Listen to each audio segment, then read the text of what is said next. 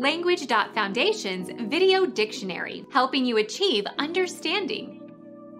The Imperial Dynasty of China from 1368 to 1644.